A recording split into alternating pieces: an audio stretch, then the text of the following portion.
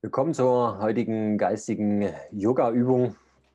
Ähm, wir wollen ja sozusagen heute wieder unsere Komfortzone erweitern, idealerweise unsere Komfortzone verlassen. Und wenn wir uns äh, das natürlich anschauen, dass wir die Komfortzone erweitern und letztlich auch verlassen wollen, dann braucht es natürlich auch äh, Gedanken, die außerhalb irgendeiner Komfortzone existieren. Und ähm, dementsprechend habe ich wieder einen Gedanken für dich mitgebracht, der, der dich sehr wahrscheinlich ähm, an die Grenze deiner eigenen Komfortzone heranbringt und ähm, idealerweise natürlich die Perspektive schaffen soll, dich über die Grenzen deiner, Pers äh, deiner Komfortzone hinweg zu heben oder zumindest im Grunde genommen, und das müsste die, das Endergebnis sein, ähm, dich dahin bringen, dass du jetzt schon erkennst, dass du eigentlich schon da bist. Und ähm, von daher ja, freue ich mich, den Gedanken hier mit dir zu teilen, freue mich, dass du da bist und ähm, überhaupt die Bereitschaft hast, ähm, tatsächlich auch, und das ist im Grunde genommen immer so, auch die Bereitschaft hast, deine Komfortzone zu konfrontieren, weil das ist das, warum die meisten Menschen eine Herausforderung haben, ihre Komfortzone zu erweitern oder sie auch tatsächlich zu verlassen, weil natürlich ähm, jedes Verlassen der Komfortzone bedeuten würde, dass ich mich an einen Ort begebe oder mich in einen Raum gedanklicherseits begebe, der außerhalb meines aktuellen gewohnten Rahmens ist und natürlich auch damit verbunden ist, dass ich meine vergangene äh, Überzeugung hinterfrage und dementsprechend auch loslassen und verändern darf.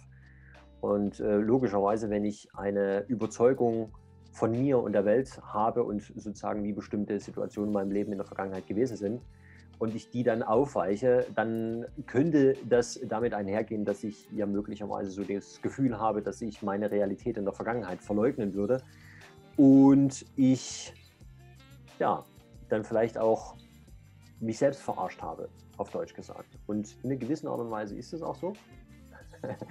ähm, und gehört einfach dazu, wenn ich sozusagen etwas Neues lerne, dass ich natürlich auch mh, ja, verstehe und erkenne, dass ich in der Vergangenheit irgendwo mal in Anführungsstrichen falsch gelegen habe.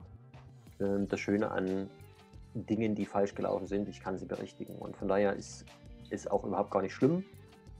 Und ja, dementsprechend braucht es natürlich eine kleine Bereitwilligkeit von dir, dich auf so einen Prozess hier einzulassen.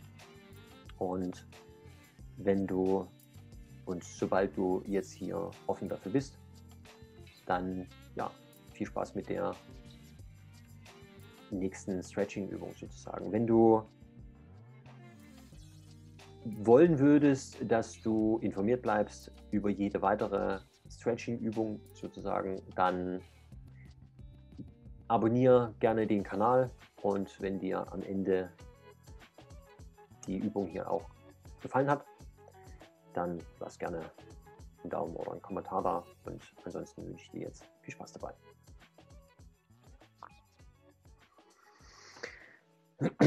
Ja,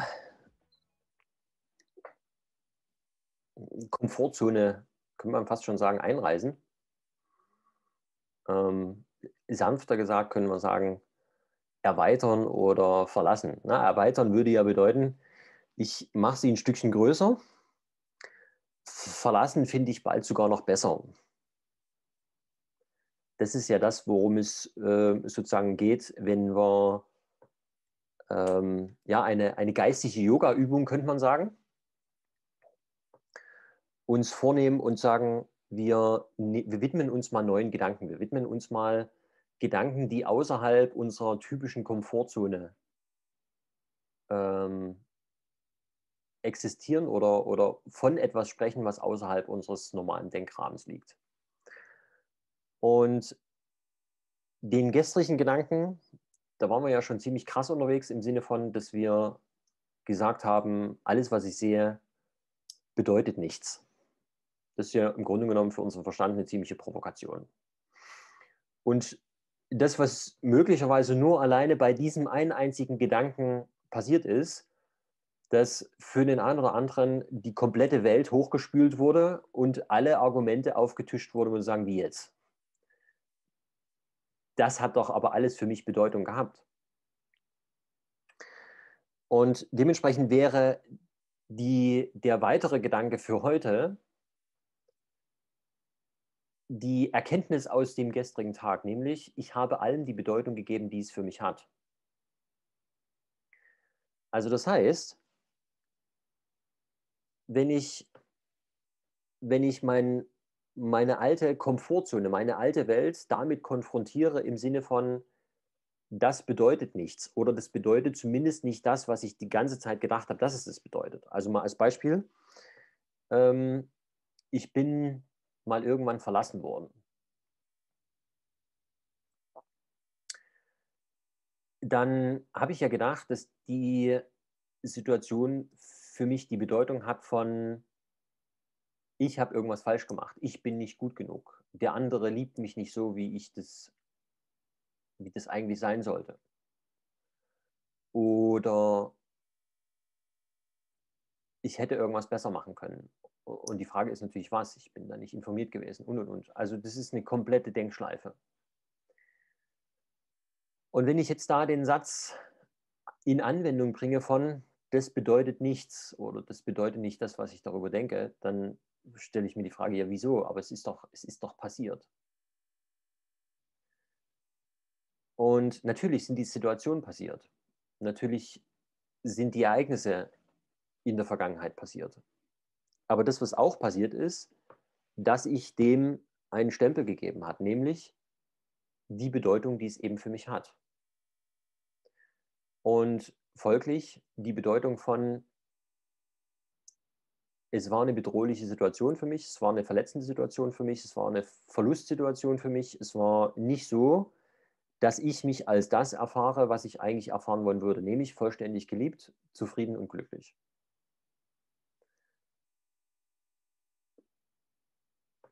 Und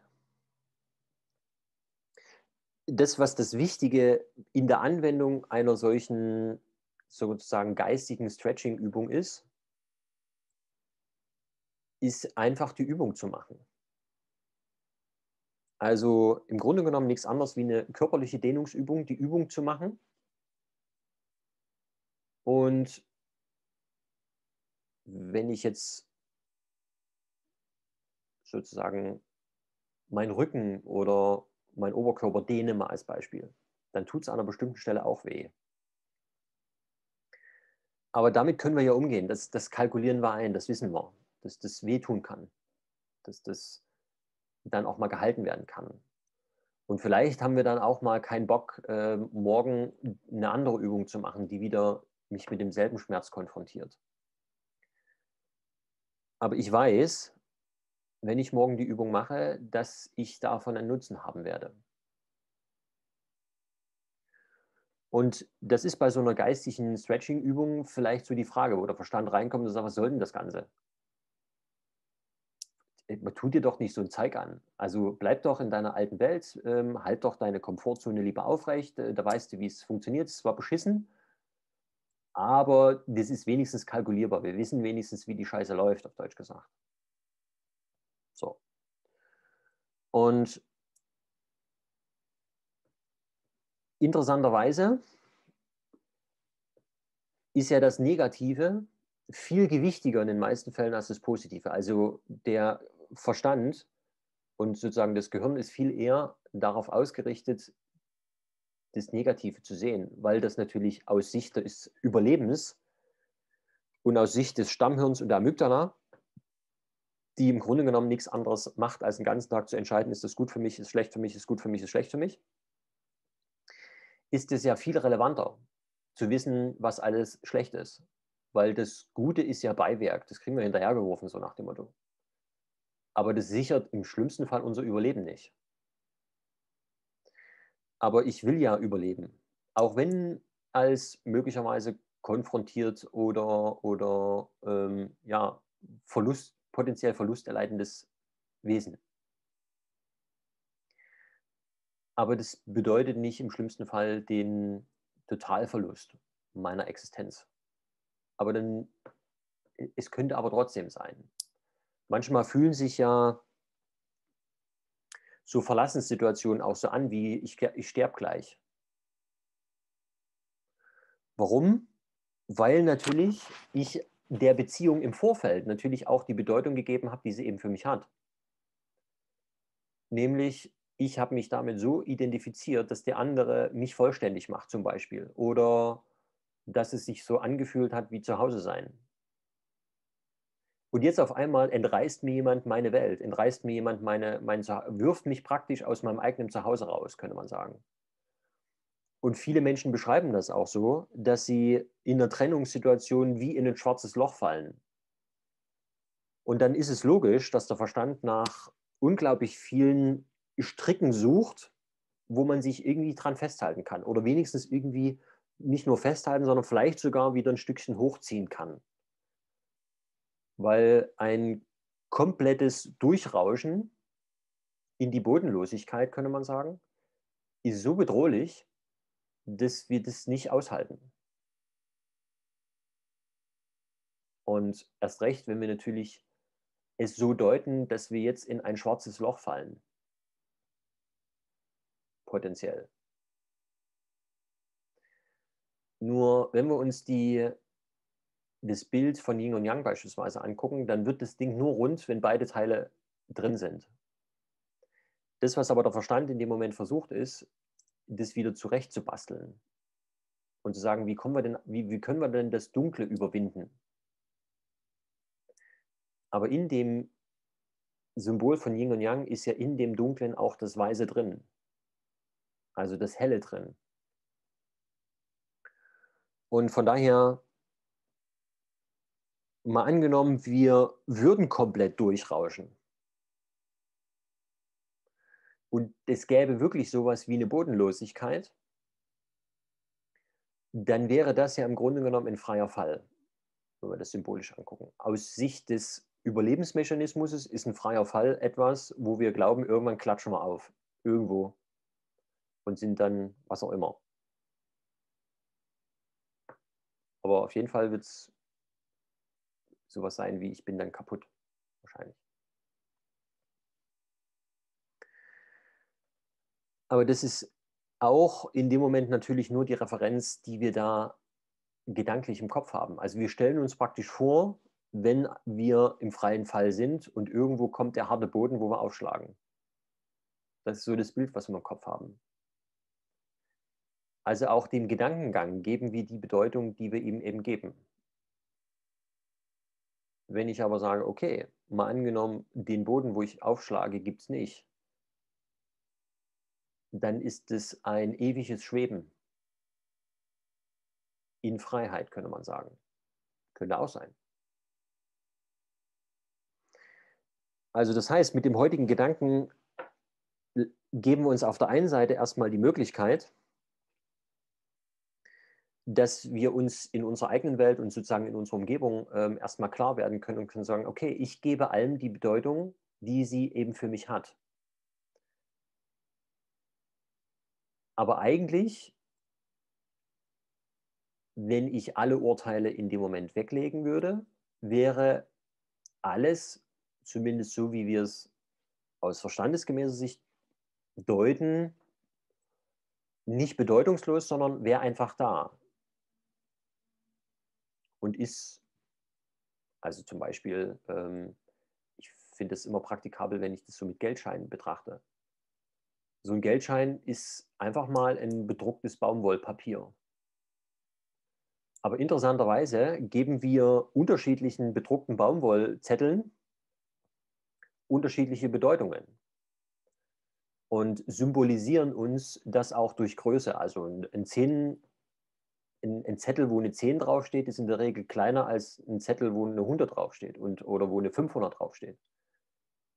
So, aber es sind die gleichen Zettel aber das Symbol ist großer Zettel, mittlerer Zettel, kleiner Zettel und eine andere Farbe. Und damit wissen wir, okay, was, was bedeutet denn dieser Zettel? Ach so, mit dem 50-Euro-Zettel äh, kriege ich äh, mehr in dieser Welt als mit einem Zettel, wo eine 10 draufsteht. Ach so, okay, alles klar. Aber im Grunde genommen hat das an sich überhaupt gar keine Bedeutung, sondern es ist in dem Moment dann ein Symbol und praktisch ein Mittel zum Zweck. Also eine praktische ein, praktisches Tool, womit ich was verwenden kann. Aber wie viele Menschen ähm, legen so viel Wert in entsprechende Symboliken, dass sie daraus natürlich eine eigene Identität kreieren. Also mal angenommen, ich habe viele Zettel mit 500 Aufdruck. Aufdruck von, fünf, von, von ne, also 500. Dann gibt es viele Menschen, die dann sagen, also jetzt bin ich ein wertvoller Mensch. Und sobald ich ein paar von den 500ern äh, verliere, aus welchen Gründen auch immer, oder weniger davon habe, dann wird die Verknüpfung hergestellt, jetzt bin ich weniger. Jetzt muss ich mich wieder anstrengen, dass ich wieder ein paar 500er ähm, mir in die Tasche stecke. So, weil dann, dann, dann bin ich wieder gut. So. Das heißt also, alle Bedeutungen, die wir den Dingen geben, dienen oder verwenden wir im Grunde genommen auch dafür, um eine Identität zu definieren. Also uns zu jemandem zu machen, der wir offensichtlich irgendwie sein wollen. Aber wenn ich ein, wenn ich dieses Streben hätte, dann wäre die Frage, wer bin ich denn, dass ich die ganze Zeit dafür sorgen muss, dass ich wertvoll bin? Also da bin ich ja im Grunde genommen habe ich mich mit Wertlosigkeit identifiziert. Und darauf will im Grunde genommen dieser Gedanke natürlich auch hinweisen. Und wenn wir, wenn wir uns das tatsächlich so angucken, dann wäre ja die Endperspektive, und davon gehen wir ja aus, dass es sowas geben muss wie eine vollständige Zufriedenheit, wie ein vollständiges erfüllt sein, wie ein vollständig, äh, vollständiges Geliebtsein. Aber das muss außerhalb aller Komfortzonen sein, also ein vollständiges Verlassen der Komfortzone bedeuten, ähm, in der wir uns gegenseitig aber irgendwie befinden. Weil das ist ein Gedanke, den, der vollständig außerhalb ist der klassischen Komfortzone, weil unsere Komfortzone meistens daraus besteht von, ähm, naja, ich, ich brauche mich nur intensiv genug anstrengen, dann wird mich jemand anders lieben. Ich muss nur ausreichend mich selbst lieben, dann kann ich auch jemand anders lieben, was erstmal grundsätzlich keine falsche, ähm, kein falscher Ansatz ist. Aber irgendwann muss es ja mal fertig sein. Und es kann nur ein gegenwärtiger Moment sein. Und es kann sein, dass das jetzt möglicherweise eine Herausforderung ist, mit so einem Gedanken zu gehen, weil ich natürlich meine alte Komfortzone konfrontiere. Und wenn es eine, einen praktischen Tipp da drin gibt, damit umzugehen, mit der Konfrontation und vielleicht auch mit dem, was es dann macht, nämlich das Aufspülen meiner alten Gedanken, meiner alten Überzeugungen, meiner alten Konstrukte, den Moment zu halten und einmal mehr zu atmen. ah, okay, gut. Da taucht auch nur ein weiterer Gedanke aus meiner alten Komfortzone auf, der mir auch weiterhin aufzeigt, dass ich sozusagen etwas sehe, oder eine Situation oder eine alte vergangene äh, Geschichte, die mir aufzeigt, wie ich etwas in der Vergangenheit gedeutet habe. Ach so, es ist das gleiche Urteil, was ich sozusagen jetzt nochmal repräsentiert bekomme. Und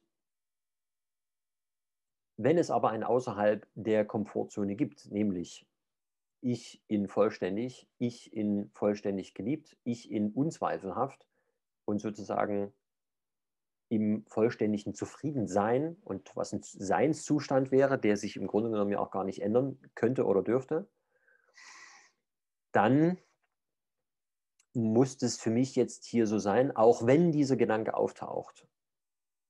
Und wenn ich mir das sozusagen klar mache, dann kann ich auch atmen.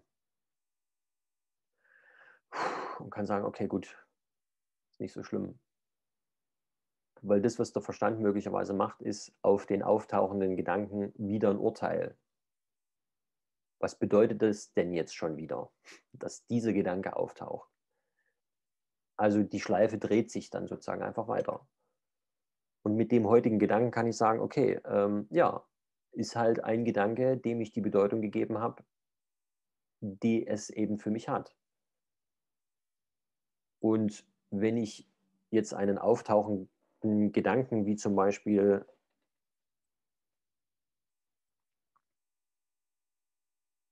Also meistens kündigt sich das an mit Ja, aber,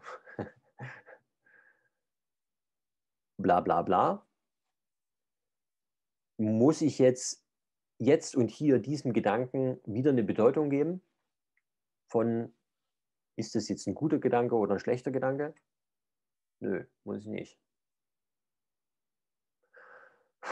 Okay, gut.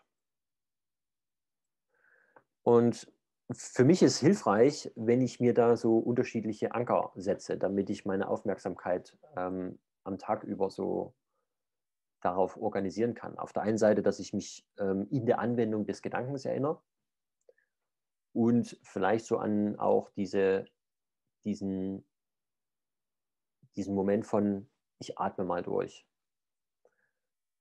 Und da helfen Post-its beispielsweise, und für mich wäre das heute ein tragfähiger Gedanke. Ich weiß nicht, was für dich praktikabel wäre, aber so dieses Atmen. Ich würde da auf diesen Post-its einfach Atmen draufschreiben.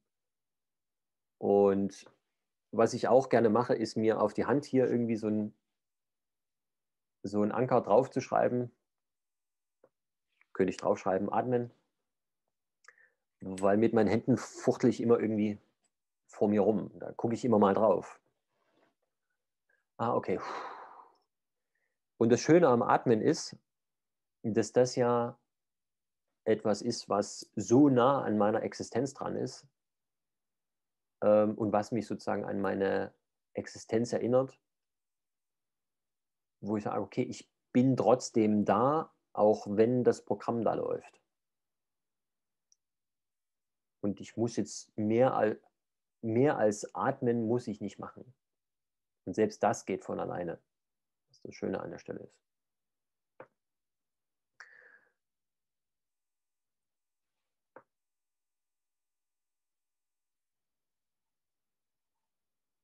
Und es könnte sein, dass wenn ich den Gedanken anwende, dass ich möglicherweise damit konfrontiert werde, Weil das ist ja wie so eine Art Hinterfragen. Ich gebe allem oder ich habe allem die Bedeutung gegeben, die es für mich hat. Da kann ich ja eigentlich immer nur Ja sagen. Gestern könnte sein bei dem Gedanken, dass da viel Neins aufgetreten sind. Und dementsprechend wäre das heute der Ausgleich der entsprechenden Polarität. Heute mit dem Gedanken wäre ich sehr wahrscheinlich öfter Ja sagen können, was in dem Moment das System schon mal entspannt. Also mir geht es zumindest so, weil ich kann nicht verleugnen, aus meiner Sicht, dass ich allen Dingen in meiner Welt und sozusagen allen Szenerien und allen Erfahrungen in der Vergangenheit die Bedeutung gegeben habe, die sie eben für mich hat. Das ist definitiv ein Fakt. Und durch den Tag zu gehen mit einem Gedanken, der grundsätzlich schon mal stimmt, ist ja eine gute Geschichte. Da können wir, da wird es sehr wahrscheinlich nicht so viel Widerstand geben wie vielleicht gestern. Und unsere, unsere Komfortzone wird sehr wahrscheinlich auch nicht so intensiv konfrontiert. Und ja, Mehr gibt es aus meiner Sicht da nicht zu sagen für den heutigen Stretch.